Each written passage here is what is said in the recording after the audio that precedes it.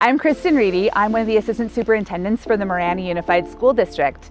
And back in the summer of 1994, I started as a Town of Marana lifeguard. My name is Jennifer Flood.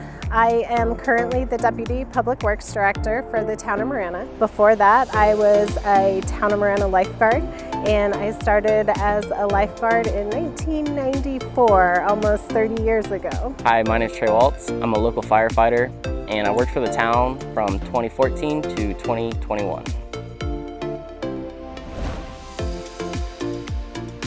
I think what I loved the most about working as a lifeguard is all of the people I got to work with. I made some amazing friends.